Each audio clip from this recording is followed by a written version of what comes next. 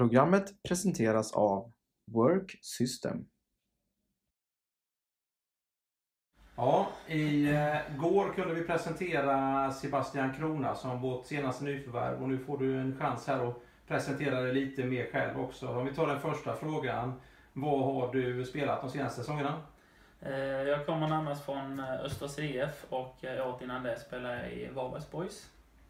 Och är vi inne på Varberg så förstår vi att du har viss relation till Jörgen Wålemark, stämmer det med? Ja precis, jag var ju där som sagt ett år och hade ett fint år med Jörgen så att här känns spännande att få vara under hans ledning igen. Var det även Jörgen då som hade första kontakten med dig nu när det här blev aktuellt? Ja, det kan man säga.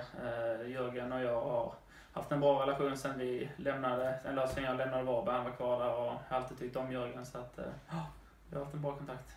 Om vi går in mer på din spelstil då, vad är det för en speltyp för de fansen som undrar? Jag är en central innermittfältare som eh, gillar att ha mycket boll eh, men är inte rädd för att smälla på i närkampsspelet heller om det behövs. Så att, ja men centralt i banan och, gillar att ha mycket boll. Har du följt Jönköping Södra någonting i närtid så du har en koll på vad det är för typ av spelidé och hur det funkar? Ja, absolut. Jag tyckte Jönköping spelade en väldigt eh, vacker fotboll i Allsvenskan. Eh, ett eget spel som... Eh, det är inte så många lag som har det och det känns väldigt intressant att få vara en del av det nu i år. Och då är den sista frågan med, hinner du åka med till träningsläget i Spanien redan idag? Ja, det gör jag. Kul att ha dig här Sebastian och stort lycka till under året. Tack så mycket.